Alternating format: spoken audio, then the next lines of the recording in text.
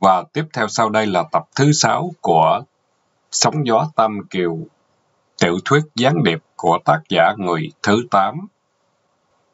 Nghe Tường nói, Văn Bình trùng mình, chàng đang đối phó với một kẻ thù vô cùng nguy hiểm. Chàng bèn hỏi, chúng mình đi đâu? Đại tá Tường nhún vai, Tòng muốn thời với bạn một câu chuyện. Hơi lạnh tràn ngập tim Văn Bình, chàng nhìn thẳng vào giữa mắt hắn. Đêm đã khuya, mai chúng mình lên đường sớm, bây giờ tôi xin phép trở lại liều vải. Một con dơi khổng lồ đập cánh bồng bọc bay qua, lá úa trên rì dưới chân hai người, tiếng suối chảy tróc đất sau những cây liêm đồ sộ. Tuy nhiên Văn Bình vẫn nghe tiếng hơi thở của đại tá tường. Nhịp thở đều đặn này chứng tỏ tường là võ sĩ dày công tập luyện về hiệp khí đạo. Đại tá tường rút thuốc lá mời chàng. Văn Bình lắc đầu. Xin lỗi, từ tối đến giờ tôi đã hút quá nhiều, lưỡi tôi bây giờ còn đắng. Hai người đã ra đến bờ suối, đại tá tường giọng chậm rãi. Tôi à, muốn hỏi đại tá một vài điều quan trọng. Tôi tin là đại tá sẽ không từ khước. Đại tá biết ai là thủ phạm không? Văn Bình cười nụ. Ừ, không. Đại tá tường quát mắt. Tôi không đùa với bạn, sở dĩ tôi hỏi vì tôi tin bạn đã biết. Bạn có thể tru ngủ được ai, đừng hòng tru ngủ được tôi. Bạn rõ gì sao bằng Trinh bị hạ sát không? Văn Bình cười gằn không đáp. Đại tá Tường nói, bạn bình tĩnh quá. Vào đến hoàn cảnh tiến thoái lưỡng nan này mà bạn vẫn còn cười gằn được. Bằng Trinh bị giết là vì bản thân của đại tá Tùng Liêm. Hai người đã sống bên nhau một thời gian khá dài. Văn Bình cảm thấy đau nhói ở tim. Tấn kịch chàng cố đóng thật hay, đã trở nên nhạt phèo. Nếu chàng không lầm thì địch đã khám phá ra chàng là Tùng Liêm giả hiệu. Chàng bèn nói nước đôi. Tôi à, vẫn không hiểu gì cả, tôi có chối không phải là bản thân của bằng chinh đâu. Đại tá tường dần từng tiếng một. Tôi không tin bạn là bạn thân của bằng chinh. Vì nếu vậy bạn phải biết tôi, phải biết rõ về đại tá trịnh tường. Bạn táo gan thật, vì lẽ gì bạn dám đội lúc Tùng Liêm thâm nhập mật khu. Văn Bình không chờ đại tá tường đặt thêm câu hỏi thứ hai nữa. Chàng nhận thấy phải hành động ngay, nếu không sẽ quá chậm. Chàng vung bàn tay trái quật một Atemi vào yết hầu đối phương. Chàng tấn công thần tốc, song đại tá tường đã phòng bị sẵn, nên né tránh thần tốc không kém. Hắn ngỡ người ra sau, phát Atemi của Văn Bình bị hụt. Ngay khi ấy khẩu súng sáu đen xì đã nhảy gọn vào bàn tay hắn, kèm theo khẩu lệnh ngắn mũi và khô khan. Đầu gián điệp, biết điều thì giơ tay lên. Giang Bình biết là kháng cự vô ích nên đành tuân theo hắn, viên sĩ quan cười nhạt. Ha, bọn anh gớm thật, định vào tận mật khu để phá hoại. Đại tá Tùng Liêm ở đâu? Nếu anh còn muốn lưu tấm thân hữu dụng thì phải cho biết Tùng Liêm bị giam ở đâu. Văn Bình đáp, tôi phục tài anh. Đúng như anh nói, tôi chỉ là Tùng Liêm giả hiệu. Tôi sẵn sàng quy thuận và giúp anh phóng thích Tùng Liêm. Tuy nhiên, Đại tá Tường nói, lấy danh dự quân nhân, tôi bảo đảm cho anh tính mạng an toàn. Lời cam kết của đại tá Tường cũng là di ngôn trước khi hắn về chầu Diêm Chúa. Khi ấy hai người đang ở trên sườn đồi thoai thoải. Tuy giàu kinh nghiệm, đại tá Tường vẫn vấp phải khuyết điểm thông thường trong việc áp giải phạm nhân. Ấy là dí súng vào lưng và đi sát phía sau. Văn Bình đột nhiên đứng lại, quay người nửa vòng. Đại tá Tường hốt hoảng trút tay lại nhưng đòn ao tiêu mi cổ Văn Bình đã giáng xuống ngọt sớt, khẩu súng đen xì văng xuống dòng suối chảy xiết. Cùi chỗ cố văn bình được nâng lên, đại tá tường bị đánh trúng cầm, mắt tóe đâm đấm, rồi ngã nhào xuống nền đất sỏi. Tuy vậy, hắn đã lấy lại phong độ trong chớp nhoáng và tống ngọn cước karate vào mặt Văn Bình. Văn Bình né mình bắt gọn, vặn ngược bằng chân, xương mắt cá chân bị bẻ gãy kêu rắc một tiếng khô khan. Nạn nhân thét lên đau đớn, Văn Bình bồi thêm một trái đấm giữa miệng, tiếng thét căm bặt, cú thôi sơn đã làm đại tá tường vỡ mặt. Văn Bình ôm sát nạn nhân quẳng xuống nước rồi phủi tay, sóc lại cổ áo, trở lại liều vải. Nơi chân trời đông, sao mai đã mọc lấp lánh, không biết từ bao giờ. Mây trắng bắt đầu đùng lên như bông gòn phía sau đỉnh núi đen ngòm. Trời trục trịch chuyển sáng. Mọi đống lửa đã tắt ngấm, khí lạnh trừng già thấm sâu vào da thịt. Xong chàng không thấy lạnh, chàng còn một việc quan trọng phải giải quyết. Chàng ra bụi cây tìm hoàng hoa và gặp một tên lính gác bó gối cạnh chiếc điếu cày hốc kêu sòng sọc.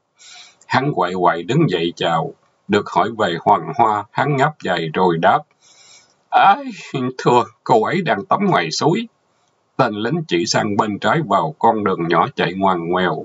Văn Bình dẫm lạo xạo trên lá vàng khô. Ngoài âm thanh của lá, chàng không còn nghe âm thanh nào nữa. Tứ phía chìm trong yên tĩnh, bầu không khí yên tĩnh tảng sáng trong rừng khác hẳn ở thành thị. Hơi gió, cỏ cây, suối nước, núi đá, dường như tất cả đều đổi mới sau một đêm dài lột xác. Văn Bình đã ra đến bờ suối, dòng thác trắng xóa chạy từ trên đỉnh núi qua những phiến đá nhẵn thính, tạo ra một âm thanh kỳ lạ, ai đã nghe qua không thể nào quên được. Chàng thần người bâng khuâng, nhớ lại những đêm có tiên Nga bơi lặn trong làn nước mát. Tắm xong giai nhân trèo lên bờ, nằm ngỡ trên tảng đá vuông vắng, nhìn những đám mây êm ả trôi về miền xuôi. Tróc rách, tróc rách, tiếng suối tiếp tục treo trong khu rừng già bí mật. Văn Bình đến đây để tìm một người đàn bà, song không hiểu sao chàng không cảm thấy thích thú gì hết. Mọi nỗi lo ngại vô biên dâng lên, dâng lên trong lòng chàng. Bỗng chàng giật mình, lắng tai nghe. Phía sau chàng có tiếng sột soạt. Quay lại chàng chẳng thấy ai, có lẽ là một con thú nguy hiểm ép bụng trong bụi rậm. Chờ chàng vô ý để nhảy bổ lại, ngoạm hàm răng dài nhọn hoắt vào da thịt chàng. Nhưng cũng có lẽ, Giang Bình lạnh người, bên tai chàng văng vẳng tiếng kêu.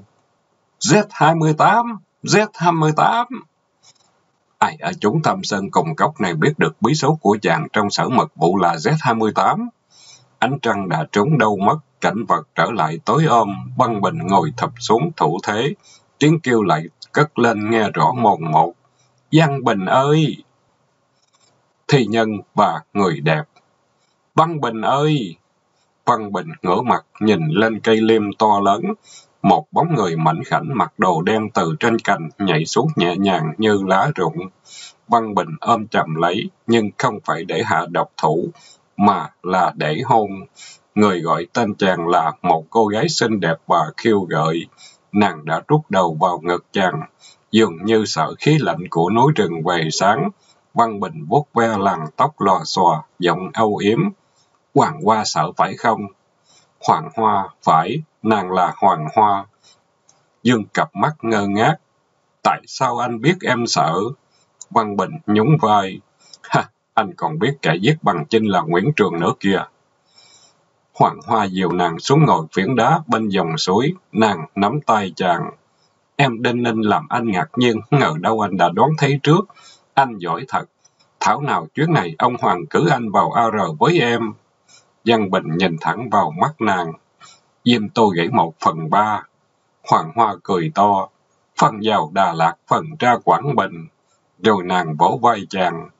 Anh nói mật khẩu gì à? Không tin em chứ gì. Xong công tác này anh sẽ biết tay em. Văn Bình thở dài. Em đã biết tên thật của anh. Chắc em không lạ gì anh là người đàn ông chưa hề biết sợ. Tuy vậy, lần này anh xin thú thật là rất sợ. Anh đậu lốt Tùng Liêm, nhưng không biết Tùng Liêm sẽ phải làm gì. Và nguy hiểm nhất, anh không giống hắn chút nào hết. Kết quả là vừa đến biên giới, anh chạm trắng bằng chinh. Và đại tá tường và suýt nữa bị lọc mặt nạ. Anh đừng ngại, em luôn luôn ở cạnh anh. Nếu em không làm, thì trừ bằng chinh và đại tá tường không còn ai quen đại tá Tùng Liêm.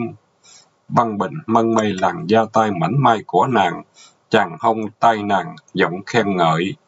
Không ngờ bàn tay thon thon này lại hạ nổi một kẻ võ công siêu quần như bằng chinh. Chẳng qua em gặp hơn, em quen hắn đã lâu, hắn giỏi võ nhưng lại mắc bệnh nhậu nhạt bừa bãi. Và khi chánh choáng hơi men thì yếu như sên. Em mời hắn uống rượu say rồi hạ sát ngon lành. À, còn Nguyễn Trường, hắn tưởng veo vãn được em nên tình nguyện đi theo để giúp sức.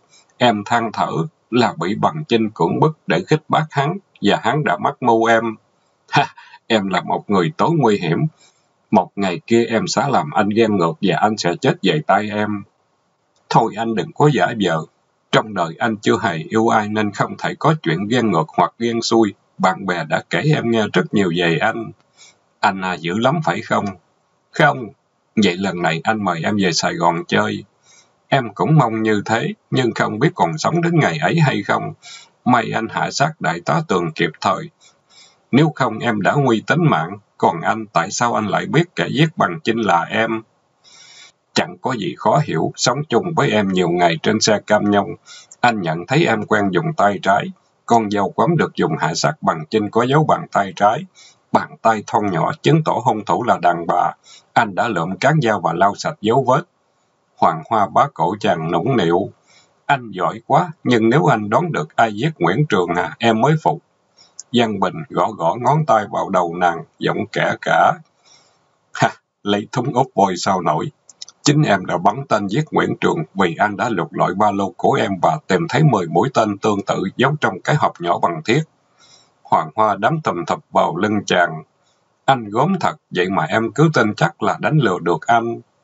Bỗng nàng nín bật, lắng tay nghe sương sớm bao phủ cảnh vật, một màu trắng xóa, nên chàng không phân biệt được gì, ngoài trừ những phiến đá hùng vĩ.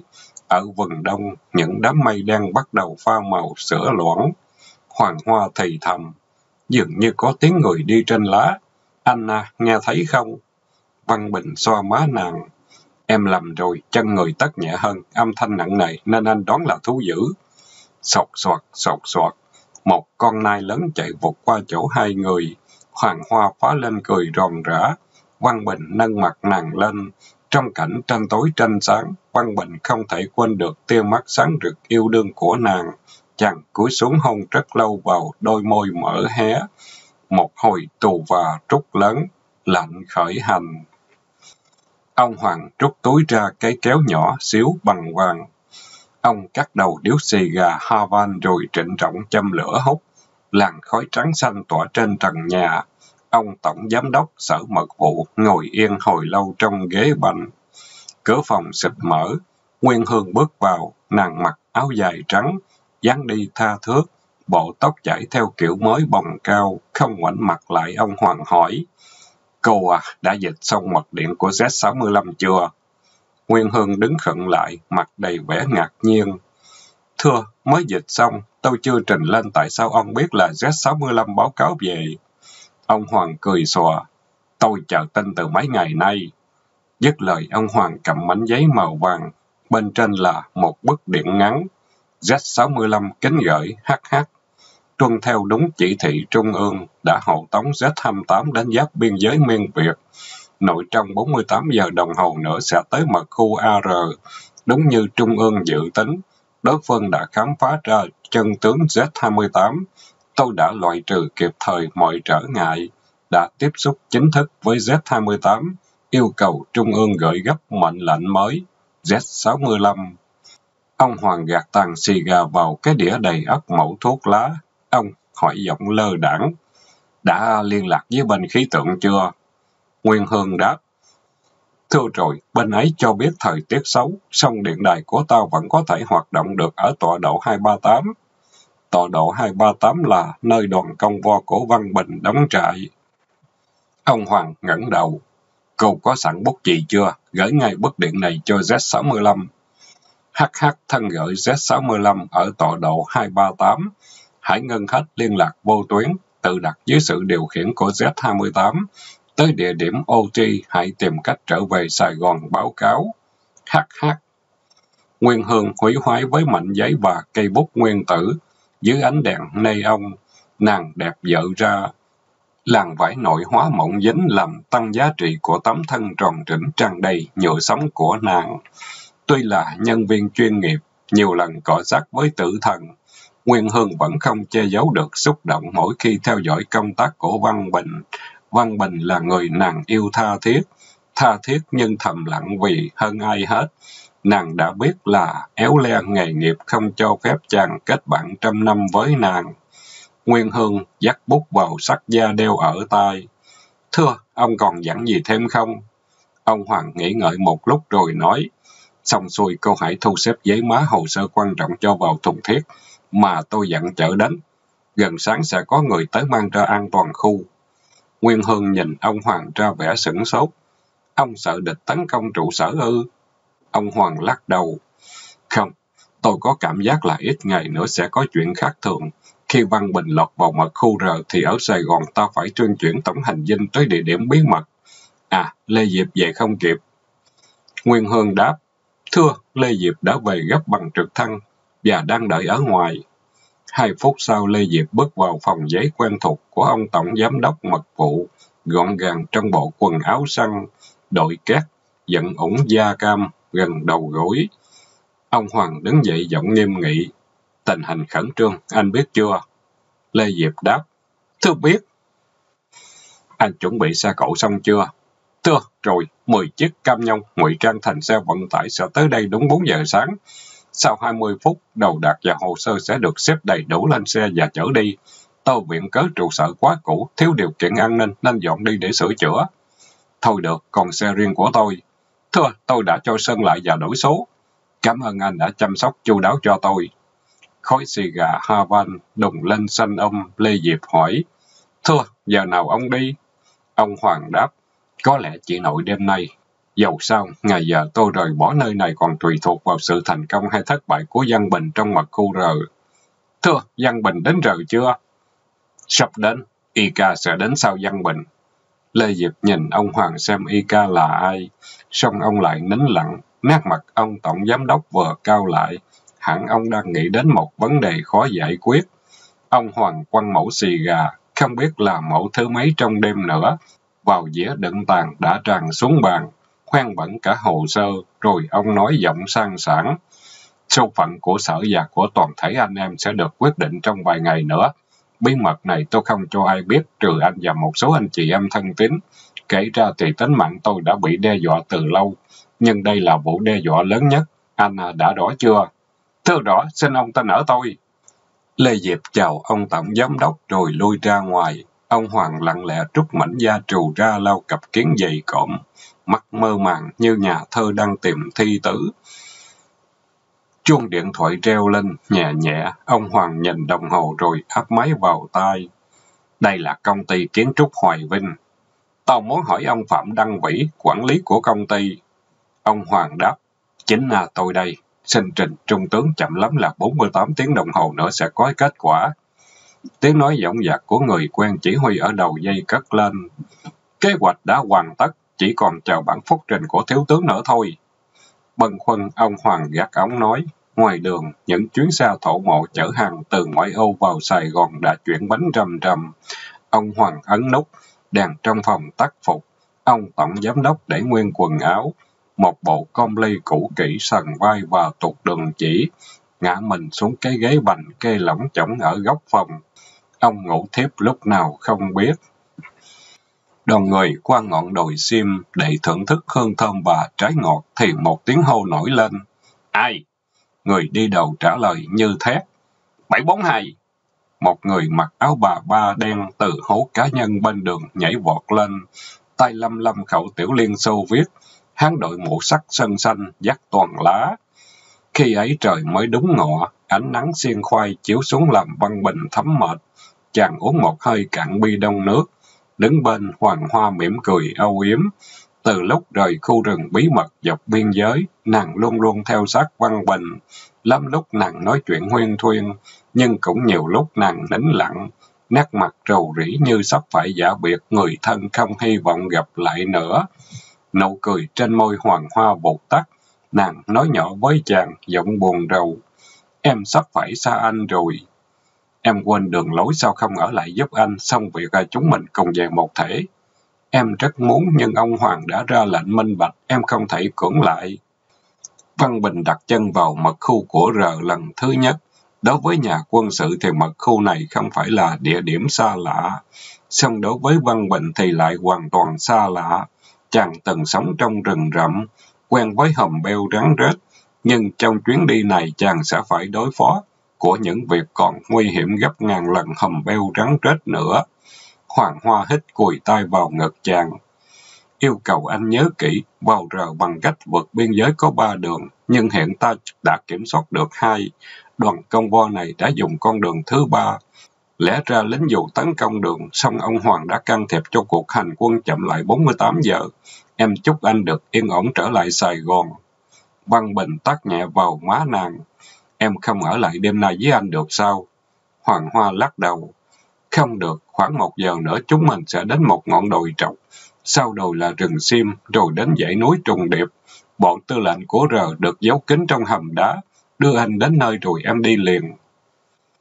Đoàn người đã tới một cánh đồng nhỏ, nằm gọn giữa những trái đồi lớn. Một tiểu đội du kích mặc đồ đen từ trong rừng hiện ra. Hai chân Văn Bình đã mỏi nhừ, chàng vốn có sức khỏe. Song đây là lần đầu chàng phải đi bộ hàng trăm cây số trên những con đường khúc khuỷu giữa cảnh hoang vu và hiểm trở. Đúng như Hoàng Hoa nói, lát sau đoàn công vo đi ngang ngọn đồi đất đỏ. Từ phương Tây, gió nóng thổi về từng hồi như muốn trút xuống mật khu nhiệt độ bực bội của núi rừng Hạ Lào. Văn Bình lấy tay áo lau mồ hôi nhễ nhại. Chàng để ý nhìn chung quanh, con mắt quan sát của chàng không thể nào lầm. Tuy tứ phía vắng tanh, chàng vẫn nhận thấy những mô đất lớn. Phía sau trí súng, qua một mô đất chàng dạo vờ trượt chân, dừng lại. Một nòng súng đại bác ló ra ngoài. Dưới chân đồi, cánh rừng liêm chạy dài tưởng như đánh tận chân trời mới hết. Sau nửa giờ đi bộ, Văn Bình đến một thạch động lớn, đoàn công vô hạ hành trang và khí giới xuống nghỉ. Văn Bình được dẫn tới một phiến đá thay bằng kê sát cửa động. Một du kích quân đứng dậy nghiêm chào. Kính chào đại tá, mời đại tá theo tôi. Nét mặt Hoàng Hoa đang tươi tỉnh đột nhiên chuyển sang tư lự. Văn Bình đoán nàng đang bệnh trịnh về chàng. Thạch động càng đi càng rộng, ánh nắng bên ngoài không vào lọt bên trong, người dẫn đường phải thắp đuốc. Đến khúc rẽ Văn Bình giật mình, đèn nay ông thắp sáng trưng, đồ đạc trần thiết đầy đủ như căn phòng nhỏ, có cái bàn mộc và ba cái ghế.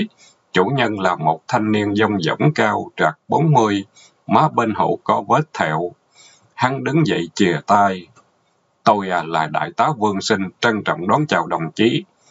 Văn Bình ngồi xuống ghế, chàng không ngạc nhiên khi thấy Vương Sinh đưa thuốc lá thơm và rượu mạnh ra mời. Vương Sinh đăm đăm nhìn chàng. Văn Bình biết hắn là đối thủ đáng gồm, với luồng nhẫn tuyến xuyên qua thân thể như quan tuyến X. Đồng chí đi đường xa chắc mệt lắm. Vương Sinh hỏi. Văn Bình gật đầu, tuy nhiên chàng không đáp có hay không. Trong phút sơ kiến chàng muốn hà tiện lời nói, để trình phản ứng đối phương, vương Sinh đánh diêm châm thuốc cho Văn Bình. Đáng tiếc là đồng chí không ở lại đây lâu, nội đêm nay hoặc ngày mai, đồng chí sẽ gặp Y ca. Tôi còn đợi bản báo cáo giờ chót nữa trước khi có quyết định địa điểm tiếp xúc. Văn Bình không thay đổi nét mặt. vương Sinh vừa nhắc đến Y ca, một nhân vật vô cùng quan trọng. vương Sinh đứng dậy. Đồng chí cần đi nghỉ một lát.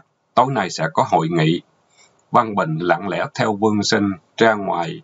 Hắn dẫn chàng bằng lối riêng ra khỏi thạch động. Văn Bình không bỏ sót chi tiết nào. Đôi mắt chàng như máy ảnh thu hết vào trong trí nhớ bản đồ thạch động. Ra đến ngoài, gió mát từ khu rừng phía trước thổi lại.